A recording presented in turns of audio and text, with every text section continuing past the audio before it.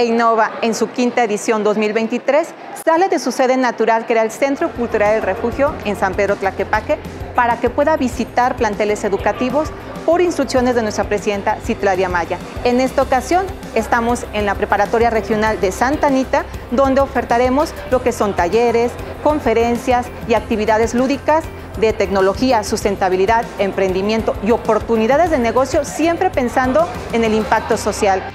Sin duda alguna, en el gobierno de Tlaquepaque nos ocupamos que diariamente tengamos actividades que provoquen la economía en nuestro municipio y esta expo no será la excepción. Reciban todos y todas una gratitud muy grande de nuestra presidenta municipal.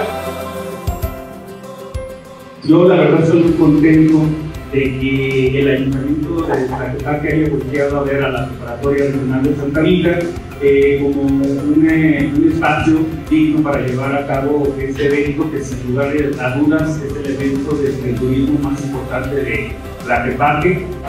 En esta edición de Expo Emprende Innova, el Instituto de la Juventud ha tratado de hacer la vinculación entre las juventudes de la delegación de Santa Anita y sus alrededores con la ciencia, la innovación y la tecnología.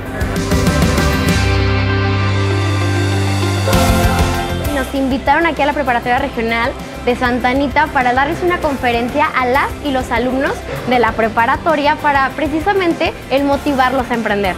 La verdad es que personalmente si yo hubiera tenido este tipo de eventos desde mi preparación de preparatoria, yo creo que mi vida sería otra. Que todos nacemos siendo estrellas, pero depende de cada uno de nosotros la manera y la forma en la que queremos brillar. En nuestras redes sociales y revisa si próximamente estaremos en tu plantel para que puedas aprender y emprender con nosotros. Tlaquepaque te quiere emprendiendo.